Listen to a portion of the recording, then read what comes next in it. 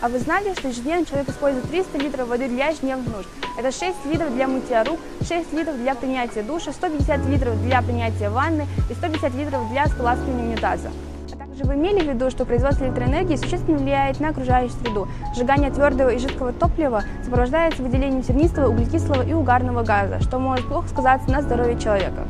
Нашей инновационной идеей является сооружение мини-ГЭС для выработки электроэнергии с помощью стока воды в жилых домах, а в зимнее время это использование движения воды по замкнутому кругу в отопительной системе.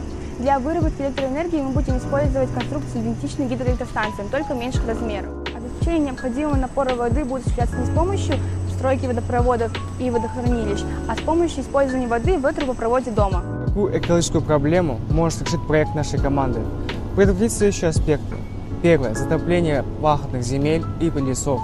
Второе. Блокирование потока осадков и питательных веществ, которые необходимы для пресноводных экосистем. И третье. Блокирование путей миграции рыбы, сокращение исчезновения таких популяций. Уникальное производство нашего продукта позволяет создавать его более безотходным и делать менее загрязненным для атмосферы, для водоемов и для окружающей среды. Плюсы нашего проекта – это стопроцентное безотходное производство.